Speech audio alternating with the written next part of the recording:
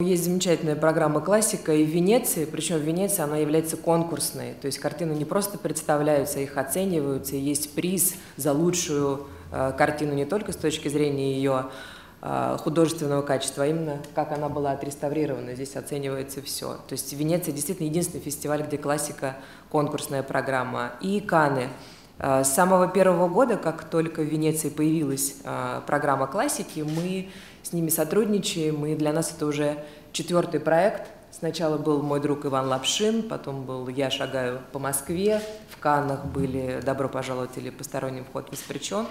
И, соответственно, вот сейчас и все эти работы, кроме а, «Мой друг Иван Лапшин», мы делали совместно с Мосфильмом, потому что без материалов, предоставленными Мосфильмом, это было а, просто невозможно. А, также скажу, что действительно, к сожалению, а, государство не обращает должного внимания на наше культурное кинонаследие, и все, что делается, восстановление картин происходит за счет средств Мосфильма.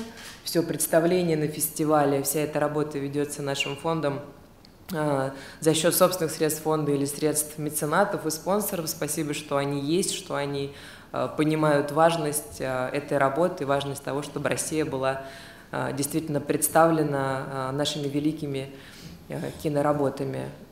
Считаю, что замечательно, что есть такая классическая секция, потому что нам действительно есть что показать миру, и задача фонда расширять и далее это направление – Эм, восстановления классики ее представления, потому что есть еще замечательный фестиваль, который э, устраивает руководство кинофестиваля во Франции. Он целиком и полностью э, посвящен э, классическим картинам, и я думаю, что, может быть, мы обсудим, да, и, да, и будем э, также принимать там участие на постоянной основе, потому что нам действительно есть что э, показать миру. Я думаю, что все знают, что в этом году 30-летие со дня э, смерти Андрея Тарковского, поэтому как бы не зря выбор пал и в Канах на его работы, и в Венеции тоже на э, его работы. Такая э, дата существенная и серьезная, и в свое время картины Тарковского получали высшие награды Венецианского кинофестиваля, в Венеции его знают и любят, поэтому, я думаю,